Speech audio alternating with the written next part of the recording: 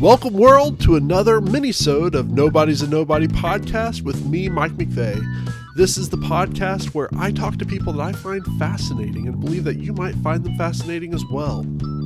Today's mini-sode is going to focus a little bit on books that I have read in 2020.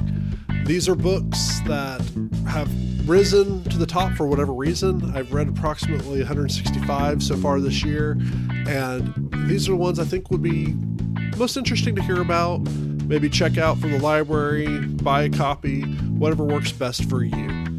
Uh, I do keep my list up on Goodreads, so if you want to see what I've read and how I've rated it, I'm going to go for through a few books specifically that I really enjoyed. I'm going to go with the chronological order of how I read them this year. Uh, the first book that I read was actually when I was in the hospital back in January, and it's by John Grisham. It's called The Guardians. It's about basically trying to solve a cold case where the wrong person got killed um, or at least that's what they're alleging. And it's just really good story. I think it's going to make a great movie if it ever makes it that way. Um, next book is actually a reread. I try to listen to this book once a year. It's it was meant to be an audiobook. It's called A Knock at Midnight: Inspiration from the Great Sermons of Reverend Martin Luther King Jr. And it's basically a collection of his sermons and there's just something so powerful to hear what he has to say back in the 50s and the 60s that is still relevant today. And it's not necessarily his most famous sermons, but they're really well done. And it's very inspirational to listen to, and I try to listen to that on a yearly basis. Uh, the next book is also a reread, but I hadn't read this one for a few years. It's by Max Barry. It's called Lexicon, and it's just kind of a really funny way of how words have power. It's a fiction book.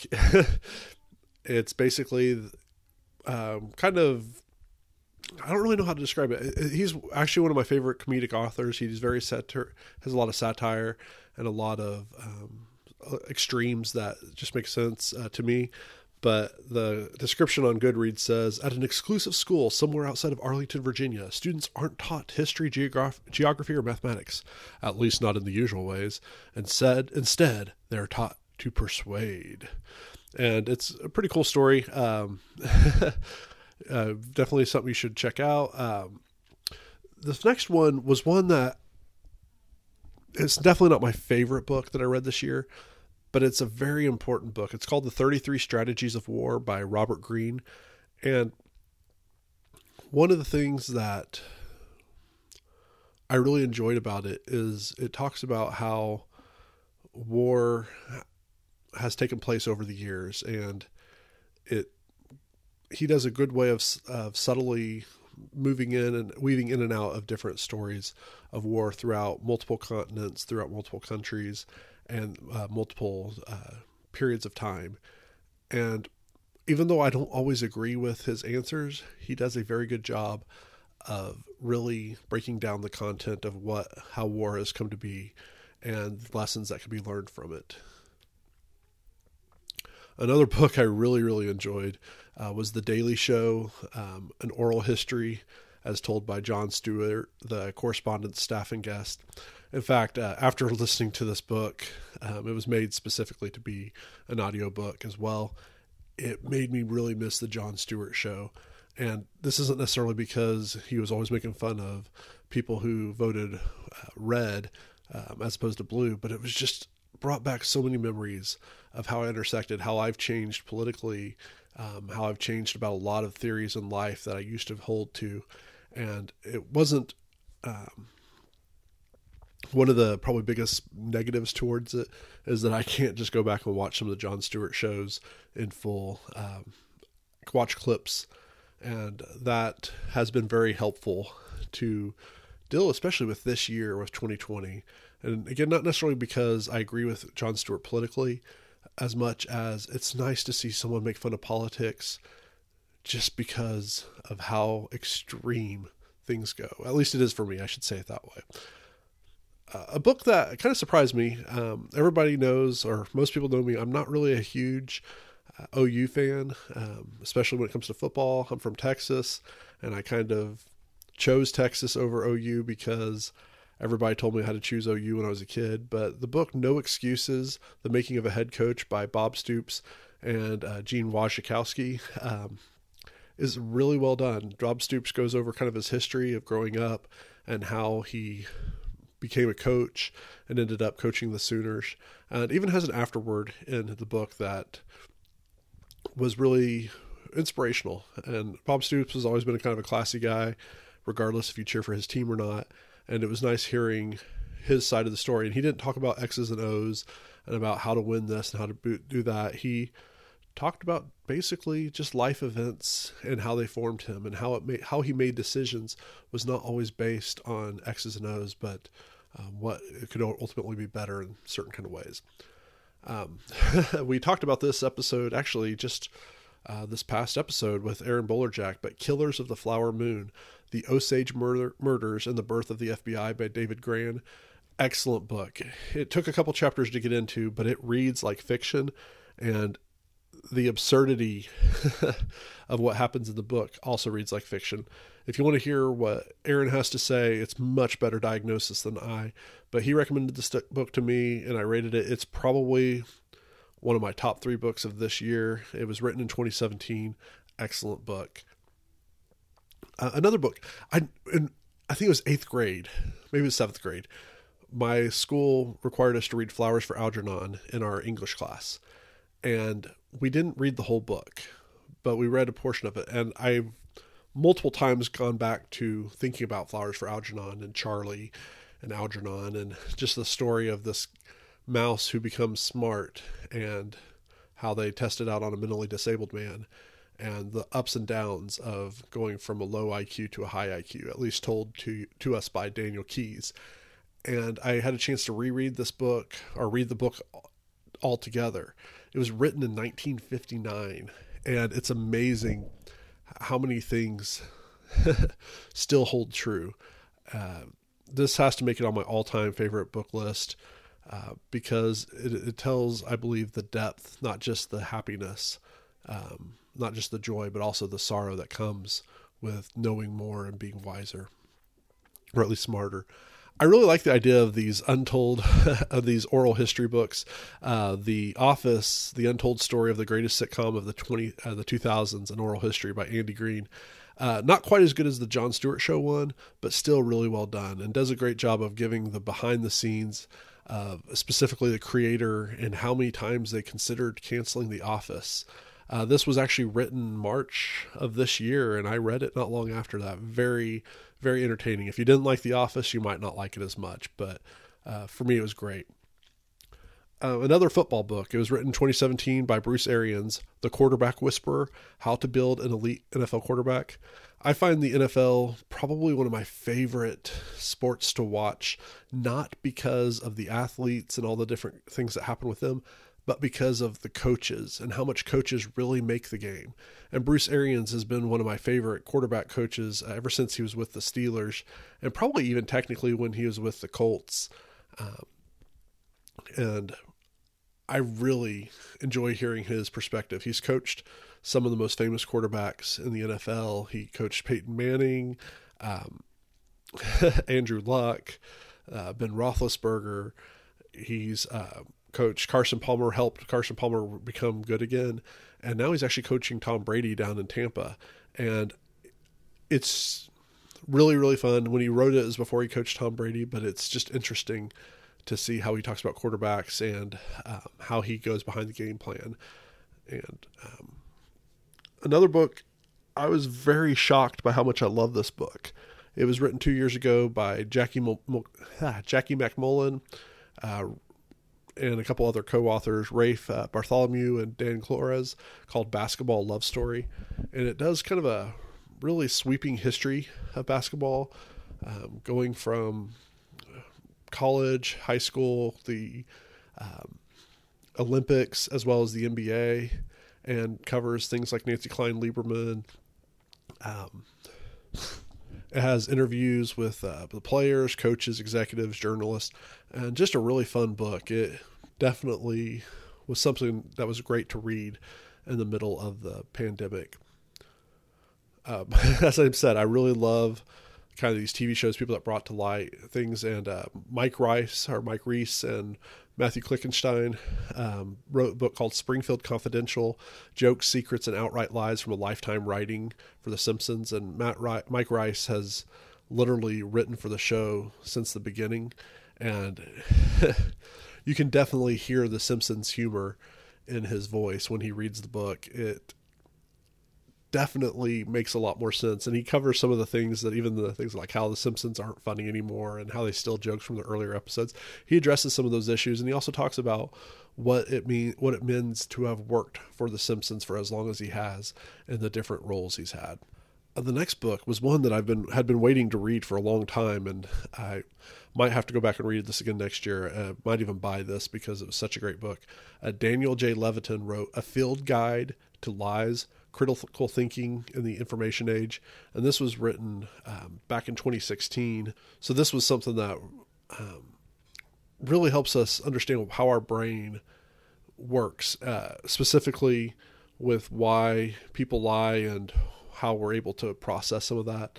Um, he published it back in the election season four years ago, and it's it's really cool uh, how he, he navigates. Uh, Levitin has written several really good books on these kinds of things, and I definitely recommend this. In fact, I recommend almost all these books. A, another surprise book for me. I am not a fan of Demi Moore. Not because I don't appreciate the roles that she's taken on the movies and stuff. In fact, I applaud some of the things that she's done. But Demi Moore wrote a memoir called Inside Out, and she tells her story um, about how she grew up and the broken home that she came from, or you know what we call broken home, us privileged people. And I know that sounds really bad. I don't mean that in a smart way, but she had a hard life, and yet she did make something out of it. And she talks about the areas of struggle that she's had, uh, being married to Bruce Willis and Ashton Kutcher, and I know some people reviewed it afterwards and really broke down on her in a very harsh and difficult way, just basically um, bashing her for saying the real things that she struggled with. But I found this really moving, and it made me definitely have a higher affinity for her. Still not a huge, huge fan of her acting, but uh, brilliant book in my opinion. All right, so Jocko Willink um, is known for being a Navy SEAL who has taken on books called like Extreme Ownership, and that book was okay for me. I wasn't a huge fan of it, but it, it was good. But I finally got a hold of his Leadership Strategy and Tactics Field Manual and that was so much better than extreme ownership for me. He takes a little bit more clear cut examples and he tries to do step by step language to help us really understand what he's trying to teach us. It's not just theories it's very much um, how to. And uh, for example he talks about one of his first training exercises for the seals how everybody was doing what they're told but no one was looking for the solution to the problem and so one of the things that he incorporated is he accidentally stepped back to see the situation and he saw why they weren't looking at the right way of finding the problem. So um, he started implementing that and he that was encouraged. And he talks a lot about uh, leadership and teamwork in this book and very um, it, it's a book I'm going to have to add to my list of reading every year. Uh, in fact, this was only published this year. I didn't realize this in January. Uh, another book I've reread, Relentless From Good to Great to Unstoppable by Tim S. Grover. I don't remember how the. Oh, I do remember. I was listening to a podcast uh, where he was being interviewed, and he's most famous for being the uh, trainer for Michael Jordan. And he also has trained Kobe Bryant and Dwyane Wade, among many, many others. But Michael Jordan was the one that he really made the fame of where when Michael Jordan um, beefed up after the Bad Boys Pistons beat up on him for so long. And that change helped Michael Jordan become not just a great basketball player, but to lead his team to the six championships and become kind of the great one in basketball. Now, Grover is very intense, and there's some things I do not agree with at all language wise. And I, I, think he goes to an extreme that really that only a certain cut of people even have an opportunity to do. But his book is solid, and it is the kind of inspiration to kind of kick you in the butt and get you moving. Um, so a book that my friend Jim re- recommended to me. It was written back in 2002, so almost 20 years ago. And that's sad that this is one of the older books on this list. Uh, but it's called "It's Your Ship: Management Techniques from the Best Damn Ship in the Navy." Yes, you heard me say that word. Oh my goodness! Uh, it's by D. Michael Abrashoff. and I can't tell you how many book leadership books I've read in my life. Well over 500. Um, and not to mention other books that can be used for leadership, but specifically leadership books, well over 500. This is one of the best books because he always tells stories of how he practices the techniques instead of just telling you the techniques. Uh, I rip on John Maxwell a lot, not because it's not good stuff, but John Maxwell tells things like this is how you should be, but a lot of his stories can contradict each other. And part of that's because different people respond to different things, but this is actually in practic- practical use. Uh, some people say, well, he's a little bit braggy and he's a little bit um, full of himself, but you don't become an admiral in the Navy without, um, you don't become a, a great captain if you just settle for things. You you kind of have to work your way up. You have to have enough of an ego to get to that top rank. And he tells about the practices he maintained that worked, and that some of them that spread over. So uh, very cool. Another book I read not every year, probably every other year. Uh, it's by Steven Pressfield. It was written in 2003 called The War of Art.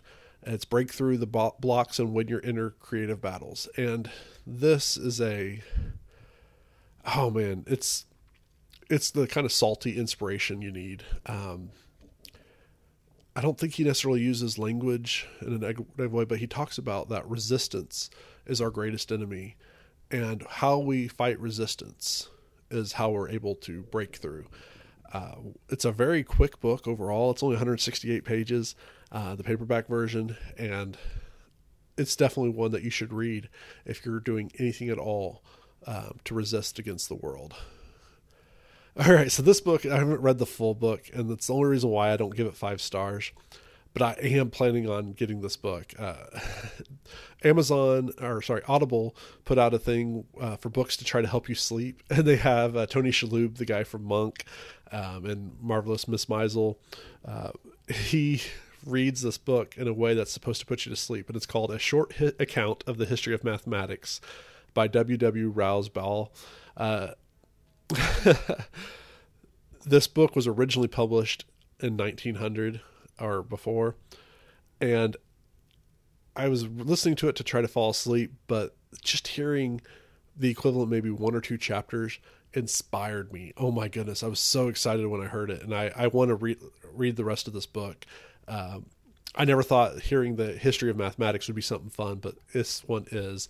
And if you're into history of weird things, um, this is actually more engaging than you might believe for a history book written when it was. All right. Uh, so a couple books. Uh, I was in a book study this year on Johnny Cash, and one of the once I got into the book study, it recommended a specific biography uh, by Robert Hilburn called Johnny Cash: The Life, and the book that we were reading used a lot of information from this book. So I went ahead and read that book because I'm the kind of guy that reads the books in the footnotes. And Johnny Cash: The Life is amazing it really covers the rock and roll co- coaster that he did of his highs and his lows, um, how he compared himself, how he considered when he was success, success as opposed to a failure. Um, I really can't recommend this book enough. Um, it's a Johnny Cash is someone I didn't really know much about, other than he wrote a few songs that were popular. But this is definitely a book um, that talks about someone who fought stereotypes, fought um, needless oppression um, back when it was not nearly as cool. And I thought I put the other book on there, but there's uh, it's like trains, um, are Jesus trains and murder, um, the uh, theology of Johnny Cash, and it's good if you're into the kinds of things of how to help move to a idea of dealing with people who are both good and bad and do good things and bad things. That's really good for that. Um, I think it really is a book that's best in a book study kind of group. Uh, so, Hunger Games, sometimes I love it, sometimes I hate it, but they, Suzanne Collins wrote the first uh, prequel earlier this year uh, called The Ballad of Songbirds and Snakes. And it tells the story of Coriolanus Snow, who ends up being kind of the bad guy in the Hunger Games trilogy. I know, spoilers. But this tells the story of him as an 18 year old and the events that happen that bring him into the Hunger Games as a as a start.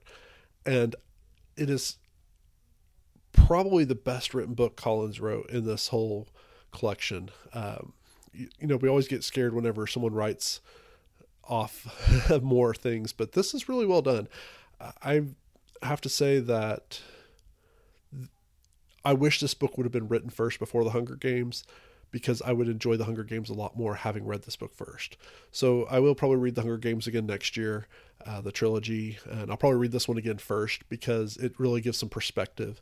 And I'm hoping that this is not the end. This is a great prequel. Um, and prequels are always difficult to tell when you know how it's going to end ultimately. So, a book I kind of surprised that I read, I guess. Um, it was also written this year. I've been trying to make an effort to really read books this year, and it uh, it was startling. It's only fifty pages. It was actually possibly the shortest uh, non-child children's book I read this year. It's by the Charles River editors, and it's called The Tulsa Massacre of 1921: The Controversial History and Legacy of America's Worst Race Riot. Um, I came to this book mostly because of the kind of the new celebration of Juneteenth that a lot of people started celebrating this year. And, you know, I've read and I've watched a lot of horrible things of talking about war and violence. Um, this book is not biased against one race or one group opposed to another.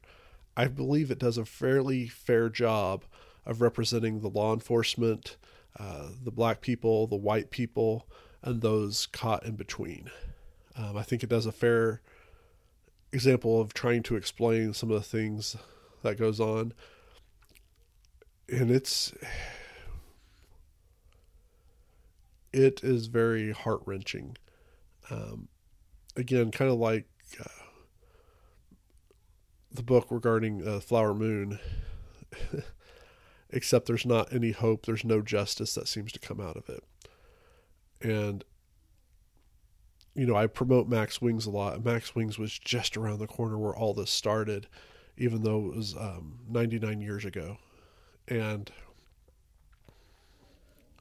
sometimes it's hard to deal with the bad parts of our history of where bad things happen. And this is a a very well written book, um, 50 pages, but it tells me everything I need to know and really too much. Um, I don't think I'll be able to read this again, but it is a book I'm very glad that I have read. Uh, another book, I kind of breezed through this one, which I think that was a mistake. Um, and despite that, it was really good. Annie Duke's Thinking in Bets, making smarter decisions when you don't have all the facts. And it's just a really good way of explaining how after the fact, it's really easy to make the right choice. Um, you know, they say hindsight is twenty twenty, but this is twenty twenty this year, and think about how many things did not go the way as planned, how many goals and dreams, and so Annie Dukes really takes this kind of idea of how we can't always have all the facts. We're not always going to have all the statistics. And for someone like me who's very um, interested in sabermetrics and how things go, and why we do what we do, sometimes you just have to make a decision with what you have. And Annie Duke goes through that and helps give some ideas of ways to continue doing that. Uh, a children's book I read, or I call it a children's book, it's called One More Thing Stories and Other Stories by BJ Novak. And BJ Novak might be best known from his uh, being an actor and a writer on uh, The Office as I've referred to before, and it it's just a, it's a it's a child's style book. Maybe is a better way of saying it, but it's a lot of comedy. Um, I just really enjoyed it. Uh, that's probably the easiest way saying. Uh, another book. Now, this is the first time I read the book, um, the audiobook, and the I read the comic book series, the graphic novel series, uh, a few years ago, but The Sandman uh, by Neil Gaiman, and the it's probably I don't know either Sandman or Maus is the best set of graphic novels out there. Um, one's based on complete truth, um, the other's based on um, just a perspective of a guy who's just insanely brilliant. Um, so I guess for the fiction, I, fiction, Sandman's the best graphic novel series in my opinion, and the audio version does not disappoint. All right, so I was in another book club, and this was the first book we read, and It's called Children of Blood and Bone The Legacy of Orisha, Orisha uh, number one by Tomi Adayame, And I apologize for messing that up. It's basically the story of Zélie, um, as well as her nemesis and a friend. And it keeps on switching back and forth, kind of George R. R. Martin style. But possibly the best young adult book series I have ever come across. And it's also heart wrenching. It's the, you cheer, you cry, um, you get pissed off. Um, and it was written again for young adults. Uh, people would say, uh, in fact, a lot of people would say like it was Harry Potter. Um, if you like Harry Potter, you're like this, and I don't think that's a fair thing.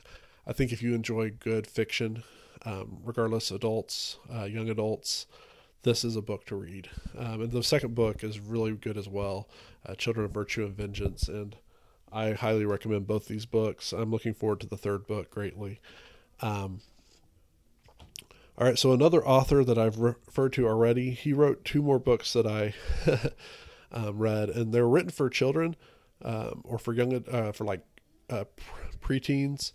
Uh, I mentioned Jocko Willink earlier, and he wrote the Tactical Guide.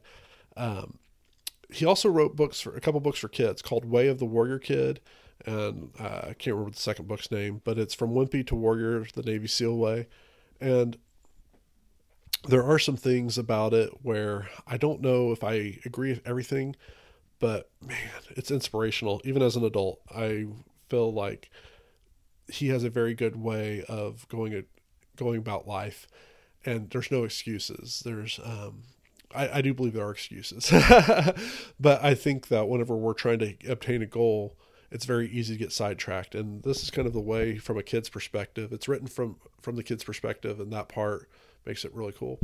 Uh, my daughter recommended, well, I shouldn't say recommended. I asked her what her favorite musical was, and the episode I interviewed her, and she said, "Be More Chill."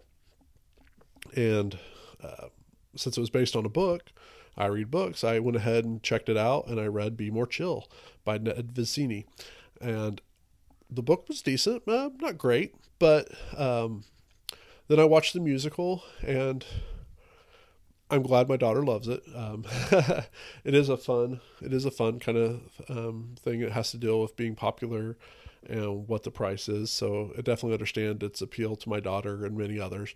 But it's not a bad thing to to read. It's got some surprise twist in there, but very it's fun. I don't know if I really want my daughter reading that kind of stuff, but I guess I can't protect her forever, right? All right, so a couple more Neil Gaiman books. Uh, Neil Gaiman books. Uh, the first one is called "Fortunately the Milk," and it's a story of a father who goes and gets some milk, and then tells his kids about um, how the the story of getting the milk. uh, this is written in 2013, and um, Neil Gaiman's just a very um, very I, I, just love his work. I don't think I've read anything of his that I have not enjoyed.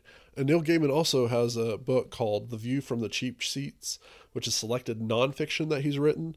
Specifically, it was from forewords that he's written. Um, it's interviews, not interviews, sorry, like special speeches he's given at different events for different reasons, um, but mostly forewords from books that other people have written. And I think it's always interesting for someone who writes all about non or writes a lot of fiction and stories and fantasy to hear his perspective of how he thinks and observes others. He is brilliant is the best word I can think of. I probably like this book more than most of the books he's written. And this is the guy who wrote um, American Gods, and he's written uh, The Sandman, and he's written um, Uh, oh goodness, my mind's going blank now. Uh, he's written Coraline. He's written um, several really well done comic books. Um, but this is just great. Hearing him talk over and over about people that's made an impact in his life. And I went and checked out several of the books based on just his forewords on them. He brought back the joy of uh, thinking about Douglas Adams who's one of my favorite authors, Hitchhiker's Guide to the Galaxy. Uh, so I, I, definitely recommend this book. Uh, I couldn't recommend it enough. Um, I mentioned Way of the Warrior Kid. That second book was called Way of the Warrior Kid Marc's Mission. And it's just continuation of some other things and how his life's changed and how it can continue to change. So definitely recommend those uh, Way of the Warrior Kid books, um, even though I don't necessarily agree with everything that Willink talks about it, but overall very good. Uh, re- rereading a book. It's the third time, fourth time I've read this book. Uh, Neil Postman's "Amusing Ourselves to Death: Public Discourse in the Age of Show Business." This book was written all the way back in 1985 and talked about how TV um, became more of a distraction than as a source of education. Now, he is perfectly fine with television being an understanding of entertainment, but he wants to argue that we need to always realize that the TV does not have a good purpose outside of entertainment. And he breaks it down through lots of different things. And he, uh, because he wrote this before personal computers were available, he said, Some people said the computer will be like this as well, but I can't deal with what's not here yet. And he does this really cool comparison between 1984 and uh, Brave New World and talks about uh, the difference between Huxley and uh, Orwell and how world has been. And I think it's a very accurate book, though it would be interesting to see how he talks about things now in 2020 with the same thing. Unfortunately, he did die uh, several years ago. So, really good book. Um, it, it has aged a little bit, but it's still important. Another book I really was kind of surprised. I, I one reason I'm able to read so many books is I do use Audible and I use the public library and I listen to a lot of books because I do a lot of driving for my job. Um, when I go visit family, and honestly, even when I'm grilling or just walking around the block or whatever, I usually listen to a podcast or a book. And this is one that I've always been interested in hearing from Brian Tracy, reading his books, but it's never really come in my hands. And so this book, Goals How to Get Everything You Want Faster Than You Ever Thought Possible. Now, I don't agree with all of his results, but I do think some of the mindset of what it means to set goals is very important. And for me, the goal, word goal is always like kind of a bad word. It's like set goals, and I'm like, but I don't have any goals. And excuse me, Tracy does a good job of talking about goals in a way that I think is beneficial, um, and how to make those goals, um, even for people like me who don't really like that word. All right, so this is a book that I actually came to because of uh, watching the Andre the Giant biography on um, HBO. It's called The Squared Circle Life, Death, and Professional Wrestling by David Shoemaker. Um, it's a four star book for me only because he glosses over so much stuff. It was written in 2013, and I know it's very very difficult. In fact, I wrote a review of this book in September. Um, very, very detailed. It talks about, you know, it's funny about professional wrestling. Everybody's like, you know, what's fake, right? And he said, yeah, everybody that watches professional wrestling, save maybe kids, knows it's fake. But it's not fake in the way that you think it's fake. In the same way that people watch soap operas or watch The Bachelor or watch uh, whatever the latest show on you know HBO or Showtime is. Um, wrestling is for a group of people, and it's not necessarily for uneducated people. Sometimes it's just fun. The personalities involved. Um, I think he needs to expand on this book, and he needs to write a few more books to cover some of the areas he lightly glossed over. But uh, very good introduction to wrestling, especially if you aren't familiar with very much of it. Another book I read, it's a quick book. Well, it's 224 pages, but it's a quick book. It's uh, Blue Fishing by Steve Sims. It's the art of making things happen.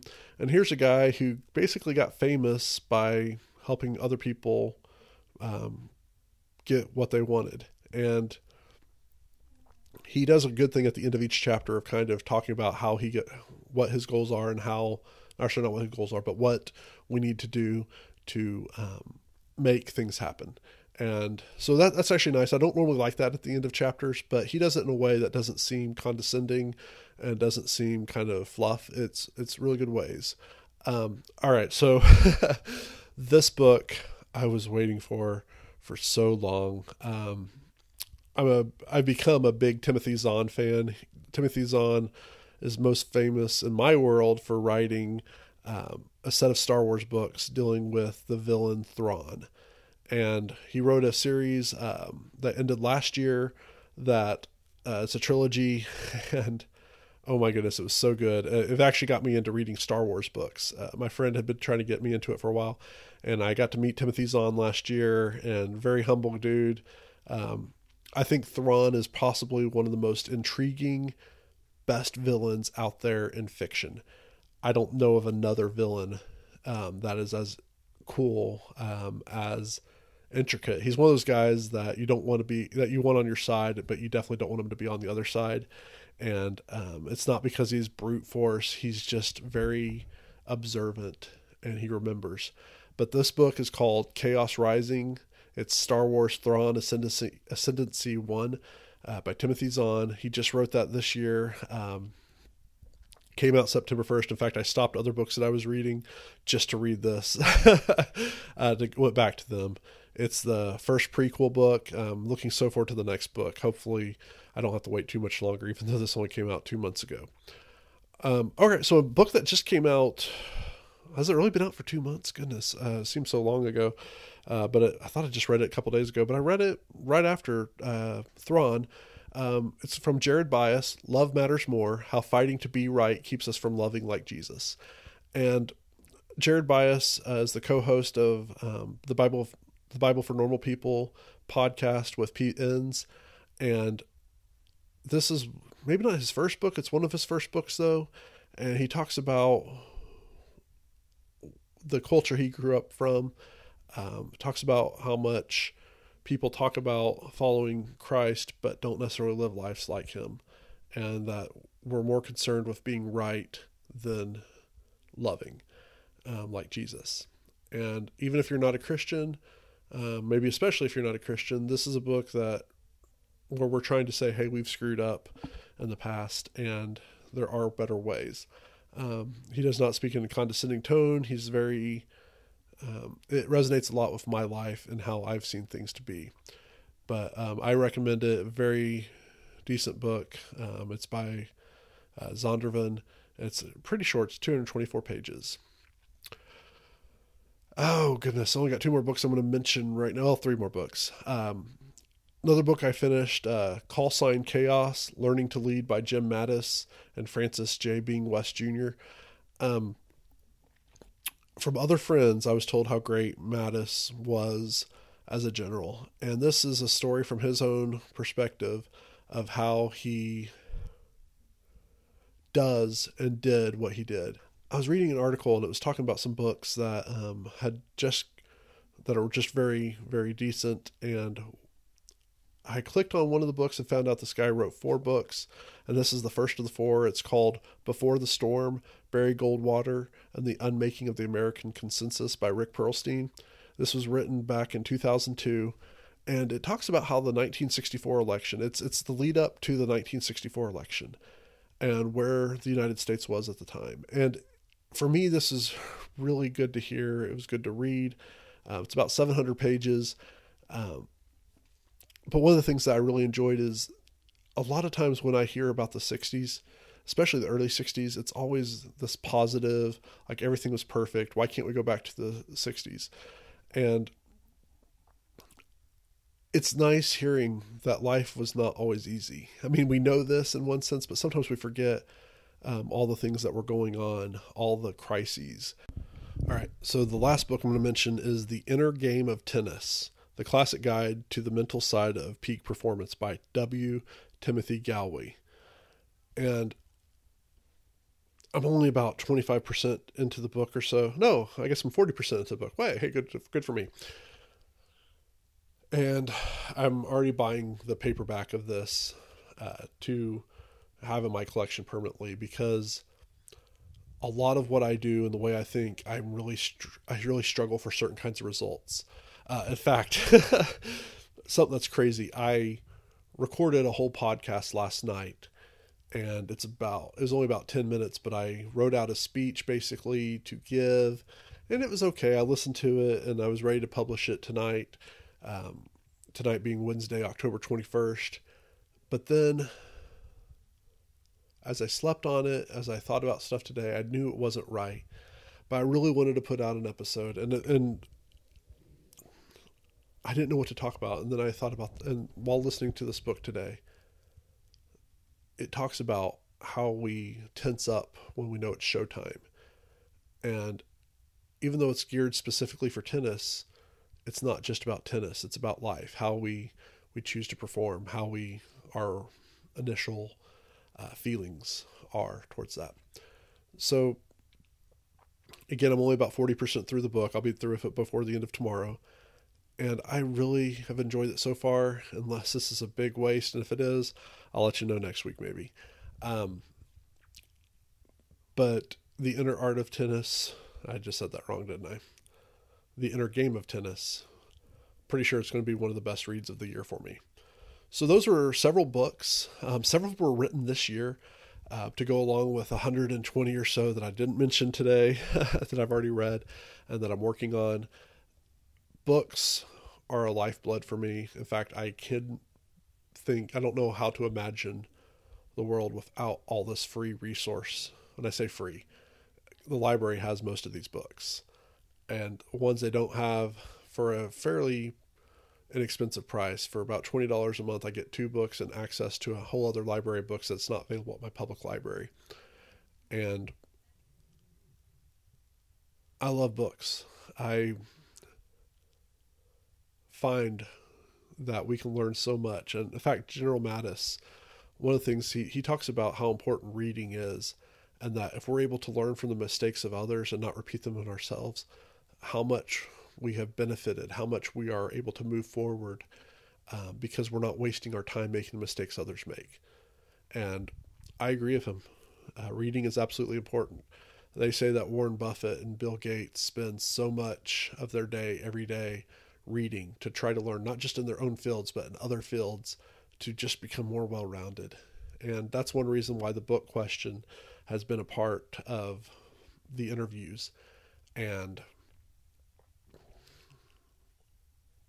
probably oh i've got two or three interviews already pre-recorded i'll probably let those play out but after those interviews i'll no longer have the questions at the end. Um, maybe i'll have them at the beginning. What book are you reading right now that we should all read? Or what book have you read in the past year that we should all read? And i'll have the the harry carey donut question because that's just fun. Uh, but those won't necessarily be at the end. Maybe they'll be at the beginning. And I mention all these books because several of these people who wrote these books at the time they were kids, I doubt most of them thought they were going to be authors who were going to impact my life. And it's because of these authors and the thousands of others that I've read over my lifetime that have helped me become who I am and that I'm not a nobody. And if you find the show inspirational or you find it encouraging, it's because of books that have made me realize other people have stories to tell. I know that's kind of kind of cliche, right? But the stories that we tell, whether they're fiction or nonfiction, tell about us too. Tell about what we need to do. All right, so I want to give one specific uh, shout out. It's not really to a local business or I guess kind of is, but it's me. Um, I wrote a book called Becoming Oaks a few years ago at the behest of several others. And in fact, if you want to see if my writing appeals to you, you can go to mikewmcvey.com and click on the Becoming Oaks link. If you sign up for the mailing list, you can get a free chapter from my book. Uh, if you like it, feel free to buy a copy. Uh, you can get it on Amazon, or if I'm near enough to you, I can give you a signed copy or sell you a signed copy for not too much. And you're not a nobody, you're somebody. Until next time.